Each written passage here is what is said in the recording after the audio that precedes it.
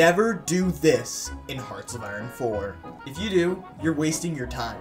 When sending a Lend-Lease to a puppet or ally, you might want to just send them all of your old equipment, just to get rid of it. So you send a one-time shipment of your 1936 infantry equipment, go to the other tab to check how many of it you have, then go back to the Lend-Lease to type that number in, right? Wrong! Just go to the Lend-Lease, select the equipment you want to send, select once, click this button, and it'll automatically assign your entire stockpile of that equipment. Anyways, consider liking and subscribing, since you now know why you should